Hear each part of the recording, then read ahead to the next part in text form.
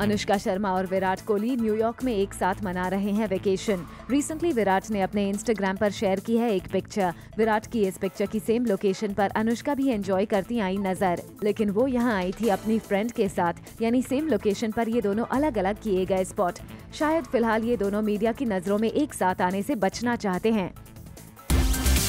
तीस में तीस.